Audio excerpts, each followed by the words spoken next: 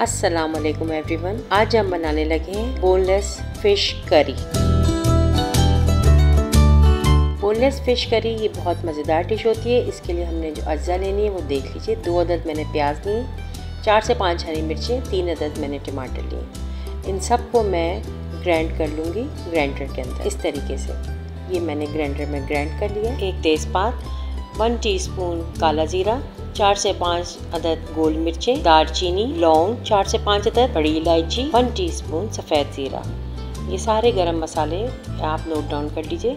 अब हम जो है, इसको स्टार्ट करने लगे वन कप मैंने ऑयल यूज़ किया है। वन कप ऑयल यूज़ करने के बाद इसमें वन टीस्पून मैंने मेथी दाने का यूज़ किया है और अपने गरम मसाले सारे डाल दिए और इसको अच्छी तरीके से इसको हल्का सा कट बनाएँगे। दो टेबल स्पून मैंने लहसुन अदरक का पेस्ट दिया है। वो मैंने इसमें ऐड करके इसको इस तरह करना है और ये मैंने प्यूरी जो मैंने ग्राइंड की थी, वो मैंने इसमें ऐड कर दी। इसमें ऐड करने के बाद इसको अच्छी तरह भूनना है। वन टीस्पून हल्दी, one teaspoon salt, one teaspoon Kashmiri लाल मिर्च, वन टीस्पून धनिया powder, one teaspoon garam masala powder, one teaspoon कसूरी मेथी।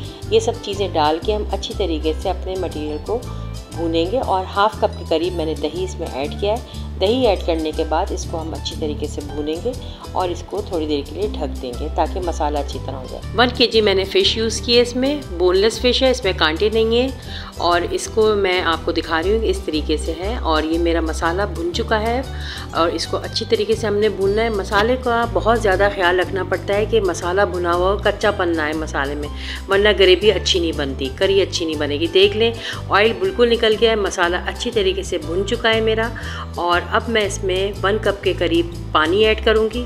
पानी ऐड करने के बाद मैं उबाली आने दूँगी पानी का। बॉयल हो पानी, उबाली आने के बाद, ये देखें, अब बबल्स आना शुरू हो गए अब ये उबाली आएगी। उबाली आने के बाद अब मैं इसमें फ़िश डालूँगी।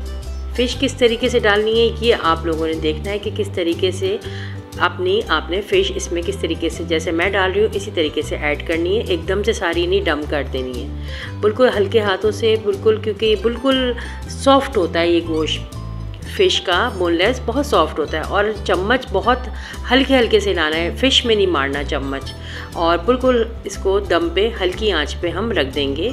और ये हमारी फ़िश अब देखें, इस तरीके से शक्ल आ गई है तैयार हो गई है। और मैंने गार्निशिंग में इसमें हरा धनिया ऐड किया है। और चम्मच बहुत एहतियात से, हर चीज़ बहुत एहतियात से इसमें करनी पड़ती है फ़िश के सालन में, ताकि फ़िश टूटे ना और खिले खिले ना और ये मैंने one teaspoon garam masala powder last में ऐड किया है। और उम्मीद है आपको मेरी रेसिपी अच्छी लगी होगी। और ये बहुत झटपट बनती है डिश आप लोग ज़रूर ट्राई कीजिएगा। और मेरे चैनल को सब्सक्राइब करें लाइक करें शेयर करें फेसबुक पे भी इंस्टाग्राम पे भी।